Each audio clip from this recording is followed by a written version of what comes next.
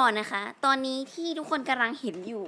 คือวันนี้เราก็จะมาทำฟรุตลูโบใช่ไหมคะ คือทุกคนจะเห็นว่าเราเปิดมาปุ๊บก็แบบมีครบเรียบร้อยเลย มีแบบดินที่เป็นรูปชามอยู่ข้างกับมีดินที่เป็นรูปฟรุตลูปแบบเรียบร้อย คือความจริงเราได้ถ่ายคลิปตอนที่เรากำลังปั้นดินด้วยนะว่ามันปั้นยังไงนะทุกคน แต่ว่าฟุตเทจหายนะคะ ทุกคนมันหายไปไหนก็ไม่รู้แล้วก็ไปตามหามาแล้ว แต่ว่ามันไม่มีนะคะก็เลย ไม่มีฟุตเทจตรงนั้นคือเปิดมาก็คือแบบระบายสีเลยอะไรอย่างนี้นะ เพราะฉะนั้นก็ขออภัยมาณที่นี้ด้วยนะคะ แล้วก็นั่นแหละทุกคนคลิปในวันนี้ก็จะเปลี่ยนเป็นพามาระบายสีละกัน โอเค เดี๋ยวไปดูคลิปกันต่อเลยค่ะ ก่อนอื่นนะคะแล้วก็แบ่งจำนวนฟุตลูปให้มันเท่ากันก่อนนะคะ เพราะว่าเราจะทำหลายสีเนาะเราทำทั้งหมด 5 สีทุกคนแล้วก็แบ่งเป็น 5 กลุ่มเท่า ๆกันเนาะเพราะว่าเราอยากให้แบบว่า สีมันพอผสมกันแล้วมันดูแบบเท่า ๆกันอะทุกคน แล้วก็มาระบายสีกันเลยลำดับแรกนะคะ เราก็ทำการผสมสีก่อนเลยนะ เราก็ผสมเป็นสีเขียว สีฟ้า สีชมพู สีส้ม แล้วก็สีเหลืองค่ะทุกคน ทั้งหมด 5 สีนะแล้วก็เริ่มระบายกันเลยค่ะ เราก็มาเริ่มจากสีเหลืองกันก่อนเลยนะคะ คือจะบอกว่าที่เห็นอยู่เราแบบใช้นิ้วตัวเองในการแบบจับฟุตลูปแล้วก็ระบายสีนะคะ เพราะฉะนั้นก็จะเลอะมือมากๆ คือตอนนั้นก็ยังคิดไม่ได้ว่าจะทำยังไงให้มันแบบไม่เลอะมือดีนะ หลังจากนั้นเราก็คิดอะไรได้สักอย่างหนึ่งนะคะ เราก็เลยไปหยิบของบางอย่างขึ้นมา ซึ่งนั่นก็คือไม้จิ้มฟันค่ะทุกคน คือตัวฟูดูมันจะมีรูตรงกลาง เพราะฉะนั้นเราก็เลยเอาไม้จิ้มฟันอะมาเสียบไว้ตรงกลาง แล้วจะได้แบบระบายสีได้โดยไม่ต้องเลอะมือนะคะระบายจิ้มฟันแทนนั่นแหละทุกคนมีความฉลาดขึ้นมาแล้วทุกคน ก็แบบง่ายขึ้นเยอะเลยนะ เสร็จแล้วเราก็ระบายสีด้านด้วย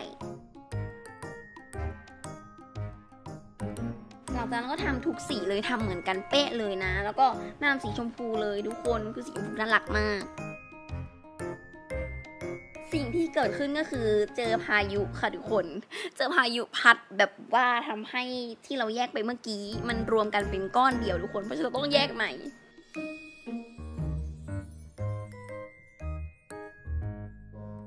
โอเคไม่เป็นไรนะคะทุกคนเราก็แยกใหม่เสร็จเรียบร้อยแล้ว แล้วก็มาระบายสีกันต่อเลยค่ะ แล้วก็ต่อด้วยสีส้มเนาะ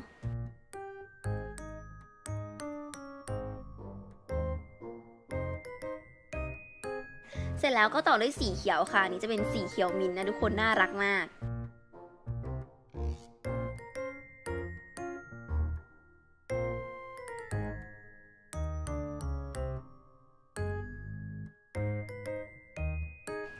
แล้วก็สีฟ้าอ่อนนะ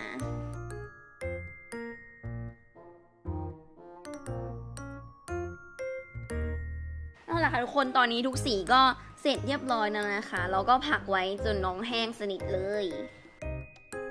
เสร็จแล้วเราก็จะมาเก็บฟรุตลูกกันนะคะเราก็จะมาผสมสีทุกสีเข้าด้วยกันแล้วทุกคนแล้วก็เก็บใส่กล่องพลาสติกนะคือแบบถ้าดูแยกๆมันจะไม่ค่อยสวยเท่าไหร่แต่พอมารวมกันคือแบบมันสวยมากทุกคน แล้วก็เป็นโรคอะไรก็ไม่รู้นะคะ พอแบบเจอของกระจุงกระจิงแบบนี้ชอบแบบเขย่าน้องนะ พื่อมันออกมาดูดีแล้วเนี่ย เสร็จแล้วก็มาต่อกันที่ตัวชามนะคะ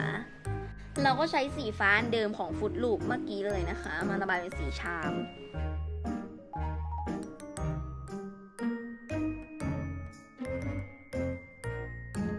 เราก็ระบายด้านหลังด้วยนะ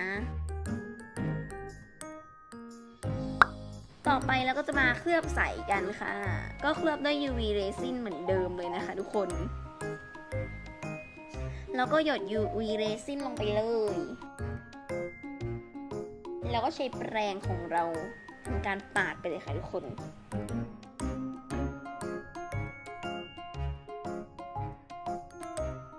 เสร็จแล้วเราก็เอาไปตากแดดนะ แล้วก็มาประกอบร่างค่ะทุกคน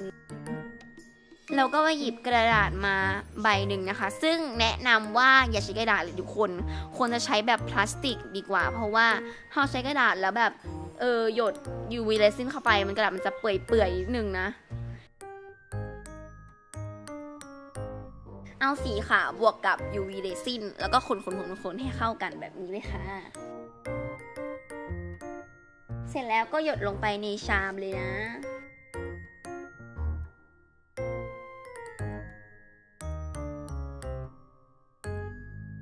โอ้ my god ทุกคนมันหก โอ้ไม่น่าเช็ดอะทุกคนคือแบบยิ่งเช็ดยิ่งแย่ตอนนั้นคือจะร้องไห้ คือที่รองตัดของเรามันเปื้อนอยู่แล้วยังจะเปื้อนอีก หลังจากนั้นก็ด้วยความฉลาดขึ้นมาอีก step หนึ่งนะคะ เราก็คิดว่าแบบ เอ้ยทำไมเราต้องแบบไปทำบนกระดาษเพราะว่าคือขี้เกียจแบบเอามาใส่มันแบบใส่ทีละน้อยๆอทุกคนเราก็เลยแบบอยากที่จะแบบเออผสมในนั้นไปเลยไหมมันก็เป็นชามอยู่แล้วก็ผสมในชามไปเลย เสร็จแล้วนะคะ เราก็นำรูปของเรามาวางไว้ก่อนนะ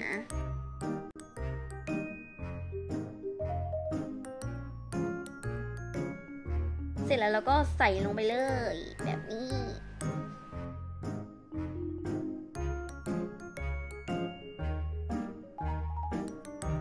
คือชามแรกอะเราใส่แล้วมันไม่จมใช่ไหมแต่ชามที่สองอะเราใส่แล้วมันจมเฉยเลยนะคะ เพราะว่าชามแรกเราใส่แบบสีอะคริลิกเยอะไงมันก็เลยเหมือนมีความแน่นหนาอะไรอย่างนี้วิธีการแก้มันไม่จมนะคะ ก็คือทำการใส่เพิ่มเข้าไปค่ะเสร็จแล้วก็สกรูมานะคะแล้วก็พยายามทำให้สกรูมันแบบว่า ไม่นอนลงไปทุกคน คือมันชอบนอนแบะลงไปตลอดเลยนะ พยายามตั้งมันขึ้นมานะทุกคน เสร็จแล้วก็ไปตากแดดอีกรอบนะคะ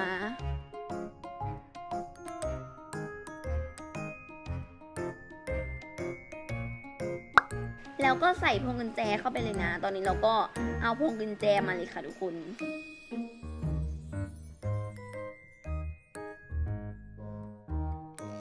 แล้วก็ห่วงเงินด้วยนะ เสร็จแล้วก็นำครีมมาทำการผ่างมันออกแบบนี้ แล้วก็ร้อยเข้าไปแบบนี้เลย เอาพวงกุญแจใส่เข้าไปแล้วก็ปิดห่วงนะ